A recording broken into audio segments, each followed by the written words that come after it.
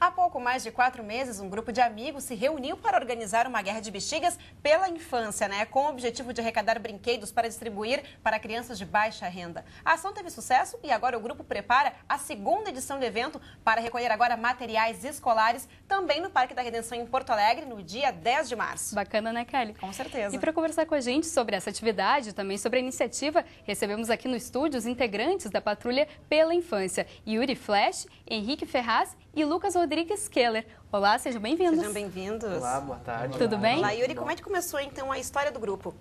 Pois então, uh, o grupo principalmente começou com, com o Henrique e o Lucas, uh, tivendo, tendo uma ideia de, de criar um grande evento Sim. com uma ação, com uma boa ação, uma ação comunitária. Daí eles tiveram a ideia, ah, como está próximo o Dia das Crianças, que tal a gente fazer um evento para arrecadar brinquedo para as crianças? Sim. Daí o Henrique teve a ideia. E se a gente fizesse uma brincadeira no tempo de criança? Veio a ideia então da, da guerra de bexiga. Então a gente fez uma grande brincadeira juntando Sim. o pessoal, já com todo o apoio. A gente teve ambulâncias e tudo no local, tivemos todas as autorizações que precisava.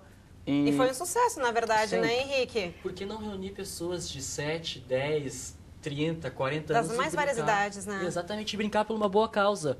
Uh, voltar ao tempo de criança, Bacana, voltar a, a, arrecadar aquele espírito de brincadeira sim, e ainda mais de solidariedade também. Bom, e vocês agora estão planejando uma outra atividade, né, Kelly, Com que certeza. a gente comentou. Que é a mesma atividade, agora a segunda edição. Para quem Exatamente. não participou da primeira e para quem já participou, participar novamente, né? Como é que vai funcionar então, Lucas? Então, vai ser no dia 10, né? A uhum. gente vai basicamente vai fazer repetir a, a primeira edição da, da, guerra, só que agora a gente trocou o enfoque. Como está aí no início das aulas, tem um monte de criança que não consegue, não tem verba para conseguir o material, né? A gente resolveu levantar kits de, de materiais para para distribuir, distribuir para essas crianças, para as escolas. Bairros? a escolha dos bairros, uh, os integrantes, nós mesmos, Olha as vamos, no ar. Pode que continuar. Nós vamos uh, nos, nas cidades ver as condições da, da, comunidade. Se a comunidade ela tem uh, carência, se o governo dá essa assistência. Se a, a comunidade em si é, tem uma baixa renda, nós vamos lá e damos não só o incentivo da, da arrecadação, mas sim também continuamos a a participar da comunidade. Uh, ensinando música, arte ou Bacana. algo a mais que nós tenhamos. E Yuri, vocês querem transformar essa iniciativa em uma ONG, né? Explica pra gente um pouquinho sobre isso, então. Pois é. Uh, prim... o primeiro evento que a gente teve, a gente foi, foi simplesmente só o grupo. A gente correu atrás, a gente teve arcar com algumas consequências. Foi no boca a boca também, né? Isso. A gente organizou uma página no Facebook e convidamos algumas pessoas pré-selecionadas para nos ajudar no evento. Sim. Tanto é que foi um, um completo sucesso. O primeiro evento teve... Mais de 700 brinquedos arrecadados, Exato. não é isso? Sim. 760 para ser Olha mais só. exato. Olha só. E distribuído em três lugares diferentes. Então, seria muito mais fácil se a gente conseguisse montar uma ONG e se a gente tivesse um apoio bem maior, porque a gente corre atrás de patrocínios e não é fácil.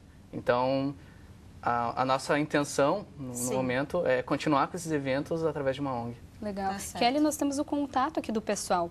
É o facebook.com barra Patrulha da Infância e também temos um telefone aqui, que é o 9101 9083, para o pessoal entrar em contato, conhecer mais o trabalho. É, as empresas tiverem interesse também e apoiar esse belo projeto, essa bela iniciativa. Rapazes, muito obrigada pela participação de vocês. Parabéns mais uma vez pelo trabalho e pela boa Parabéns. ação, viu? Bom evento. Obrigado, ah, eu gostaria de, de, deixar um convite para claro. vocês daí. Isso. Que dia 10 vai, vai ter o segundo evento e que, por favor, traga algum material escolar para nos ajudar e participe desse evento. É muito bom. E, com certeza, de bom estado também vale ressaltar, né? Exatamente. Tá certo. E a edição de hoje do Conexão TV Unicinos fica por aqui. Amanhã a gente recebe no estúdio o secretário de Educação de Canoas, Eliezer Pacheco. Participe dessa conversa e mande suas dúvidas para o nosso e-mail, que é o conexãotv.unicinos.br e também pelo Facebook, que é o facebook.com.br Unicinos. Exatamente. Nós voltamos amanhã, meio-dia e trinta. Até lá. Tchau. Tchau.